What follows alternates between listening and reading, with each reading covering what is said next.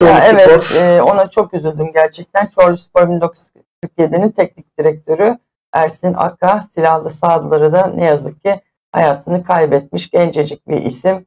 E, ne diyelim Ercan Bey? Vallahi- Başsağlığı dileyelim. Evet. Yani bir tanımıyoruz. 20 Çorlu günlük Spor camiasına herkese bir başsağlığı diyelim. 20 günlük bir e, göreve yeni başlamış. iki maça çıkmış Evet. herhalde. E, aldığımız e, bilgilere göre sosyal medyadan, diğer internet sitelerinden yani böyle gencecik birisi pusu kurularaktan Evet. organize işlenen bir cinayet.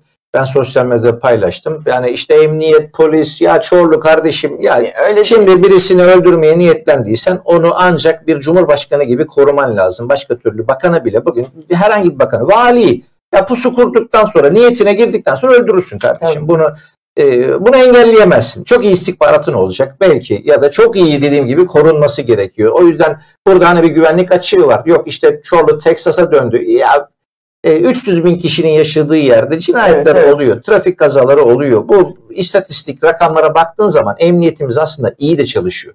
Şimdi en çok bu neden öldürüldü? Ya bilmiyorum çok şey değiliz ama baktığın zaman bir insan pusu grupta birisini neden kasteder, canına kıyar? Ben onu sordum, internette de sordum. Ya işte ya namus cinayeti oluyor ya bir ö, ne deniyor ona eee e, doğuda, güneydoğuda aşiretlerin işlemiş olduğu kan davası davası. olabiliyor. Tabii e, Allah rahmet eylesin e, Hatay e, Evet. değil mi doğumlu. Hatay'da Bilemiyoruz orada bir kan davası mı var? Bir namus davası mı var? Tabii futbol camiası olunca işte bu şikeydi, ne bileyim bahisti, büyük paralar dönüyor. E Çorlu Spor 1947'de yine o bahislerle ilgili liglerde e, futbol oynadığı için.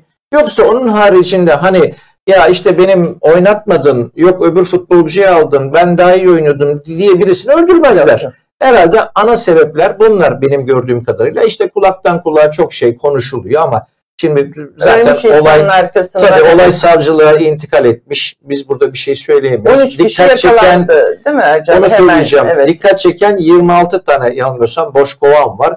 Tabii videosu bunun e, hemen bir iki saat içinde güvenlik kameralarından e, sosyal medyaya düştü. Emniyet asayiş iyi takip ediyor. E, orada baktığın zaman arkadan bir çocuk koşarak gidiyor genç büyük Evet. ihtimalle. Orada gördüğümüz kadarıyla işte iki el en fazla ateş etmesi lazım. Ama bir bakıyorsun işte 26 tane boş kovan var. Kimi diyor otomatik silah, kimi diyor şu silah, bu Öldürme silah. amaçlı pusu. Öldürme amaçlı e, yanılmıyorsam 13 kişi. Ben emniyeti bir kez daha Evet. e, tebrik ve 24 saat takdir ediyorum. geçmeden değil mi Ercan Bey? Çorlu olsun, Etçe, Tekirdağ, Edirne emniyeti yurt dışına e, çıkmaya çalışırken bir kısmı Edirne'de, bir kısmı Havsa'da yardım yataklık yapanlar hepsi beraber. Demek ki emniyetimiz isterse diyelim tabii bazen e, mesela e, Senan Ateş cinayetinde bir türlü Çözülemedi. çözülemedi. Ankara'daki bazı cinayetler çözülemiyor. Ama biz biliyoruz ki emniyetimiz çok güçlü. Ee, işte hem sosyal medyadan hem e, güvenlik kameralarından teknolojiyi kullanaraktan adamı eliyle bırakmış gibi gidiyor ensesinden alıp geliyor. Evet. 13 kişi e, gözaltına alındı, tutuklandı. Olay mahkemeye intikal etti. Tabii ki e, memleketimizde hani şimdi tekrar idam bilmiyorum bunların cezalar yetersiz. Bir adam elini kolunu sallayarak gelip Çorlu'nun ortasında çıkarıyor silahını tak tak tak adam öldürüyor. Bu kadar da kolay. Neden? Cezalar yetersiz olduğu için. Şimdi biz burada iki laf söylesek bizi hemen ters kelepçe alırlar gazeteci olduğumuz için.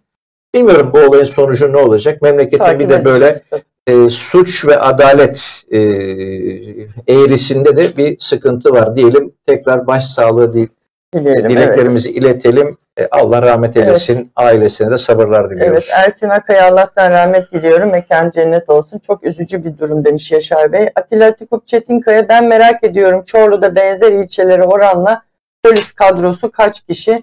Personel sayısı çok önemli asayişi sağlamada. O da doğru da ama işte nerede cinayet işlenecek polis orada ayakta mı duracak, bekleyecek? Yani bunlar çok şeyle alakalı değil ama biraz Çorlu son dönemlerde gerçekten e, bu tip e, vakaların Şimdi çok ben onunla ilgili- bir ilçe olmaya başladı. E, kadın cinayetleriyle ilgili bir, bir ara böyle internette araştırmıştım. İstatistiklere baktığımız zaman son 10 yılda özellikle son 3-4 yılda e, cinayet e, olaylarında bir düşüş var.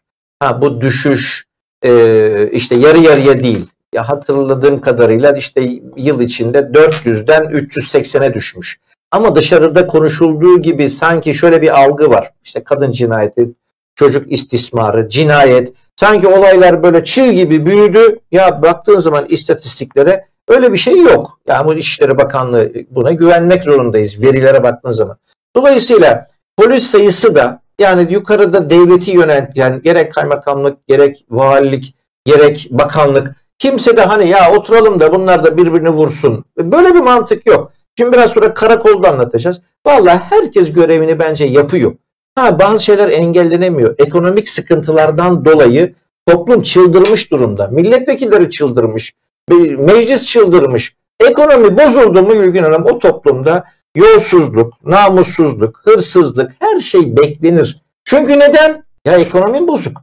Biz bundan iki yıl önce açık büfe kahvaltı yapıyorduk hafta sonu. Herkes çocuğuyla gidiyordu. Hiçbir yere gidemezsek neydi? Ergene Belediyesi'nin çilek tarlası mı vardı? Hı hı. Oraya gidiyorduk 25 liraya kahvaltı yapıyorduk. E oynuyorduk, eğleniyorduk. Adamın aklına kötü bir şey gelmiyordu ki. Kredi kartı borcun yoktu. Kumar oynamıyordun. Ne bileyim böyle zor durumda olmayınca e, hayat güzel oluyor. Ekonomi sıkıntıya girdin mi e işte alacak verecekten tut bu tür cinayetler Evet.